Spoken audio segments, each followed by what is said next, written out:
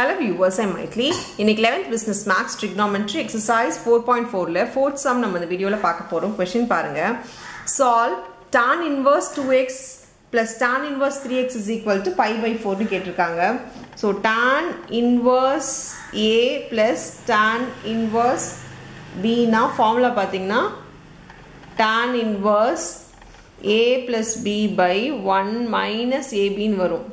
So இந்த formula தான் நம்ம எல்ஹெச்எஸில் யூஸ் பண்ண போகிறோம் ஏன்னா இங்கே இருக்கிறது டான் இன்வர்ஸ் ஒரு நம்பர் அண்ட் டான் இன்வர்ஸ் இன்னொரு நம்பர் இருக்கிறதுனால என்ன பண்ண போகிறோம்னா எல்ஹெச்எஸ் எடுத்துக்க போகிறோம் எல்ஹெச்எஸில் இதுக்கு பதிலாக டைரெக்டாக tan inverse two x plus three x A plus பிக்கு பதிலாக இங்கே ஏக்கு பதிலாக டூ எக்ஸ் பிக்கு பதிலாக த்ரீ எக்ஸ் இருக்கிறதுனால by one minus two x into three எக்ஸ்ன்னு இருக்குது இப்போ இது tan inverse five x by one minus six x square இருக்கு.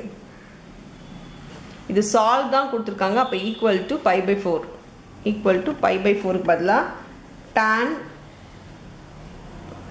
இந்த சைடு வந்துச்சுன்னா நம்ம நெக்ஸ்ட் ஸ்டெப்பில் டேன் இந்த சைடு கொண்டு வந்துடலாம் ஸோ இப்போ பாருங்கள் five x by one minus six x is equal to tan equal to இந்த ஸ்டெப் இப்போவே நான் கொண்டு வர முடியாது ஏன்னா இங்கே டேன் இருக்கிறதுனால அதனால தான் நெக்ஸ்ட் ஸ்டெப்பில் கொண்டு வரலாம்னு சொல்லிட்டேன்.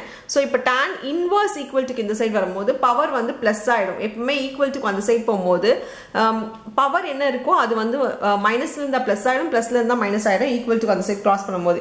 இப்போ டேன் பை பை ஃபோர்னு ஆகிடுமா டேன் பை பை ஃபோர்னா tan one eighty by four வந்து forty five so tan forty ஃபைவ்னு இருக்குது டேன் ஃபார்ட்டி ஃபைவ்னா ஒன்று நம்ம டேரெக்டாக ஒன்னு சப்ஸ்டியூட் பண்ணிக்கலாம். So five x by one minus six x square equal to ஒன்னு இது ஈக்குவல்ட்டுக்கு இந்த சைடு போச்சுன்னா five x is equal to one minus six x square ஆகிடும் எல்லாமே இந்த சைடு கொண்டு வந்துட்டிங்கன்னா six x square plus five x minus one is equal to ஜீரோன்னு இருக்கும். இது ஸ்ப்ளிட்டிங் த மிடில் டேர்ம் மாதிரி போடணும். ஸோ சிக்ஸை ஸ்ப்ளிட் பண்ணால் நம்மளுக்கு மைனஸ் சிக்ஸை ஸ்ப்ளிட் பண்ணால் ஃபைவ் வரணும்னா சிக்ஸ் ஒன்ஸ் ஆர் தான் சப்ராக்ட் பண்ணால் நம்மளுக்கு ஃபைவ் வரணும். அப்போது ப்ளஸ் மைனஸ் ஸோ இது டிவைடட் பை சிக்ஸ் பண்ணோன்னா இங்கே சிக்ஸ் சிக்ஸ் கேன்சல் ஆகி ஒன் ஆகிடும் ஸோ இப்போ பாருங்கள் முன்னாடி எக்ஸ்போர்ட் எழுதிக்கலாம். ஸோ எக்ஸ் ப்ளஸ் ஒன்று இந்த இடத்துல எக்ஸ் போடும்போது இந்த சிக்ஸ் மேலே போய்டும். So six X minus one is equal to ஜீரோவாக இருக்கும். இதுக்கு தனியாக ஈக்குவல் டு ஜீரோ இதுக்கு தனியாக ஈக்குவல் டு ஜீரோ போட்டால் X is equal to minus ஒன்னு வருது. X is equal to one by சிக்ஸ்ன்னு வருது. ஸோ எக்ஸ் வந்து நெகட்டிவ் நம்பர் நாட் பாசிபிள் ஏன்னா டான் இன்வர்ஸில் நெகட்டிவ் நம்பர் பாசிபிள் இல்லைனால நம்ம அதை விட்டுட்டு வெறும் எக்ஸ் இஸ் ஈக்குவல் டு சிக்ஸ்ன்னு மட்டும் நம்ம ஆன்சரை கொடுத்துடலாம்.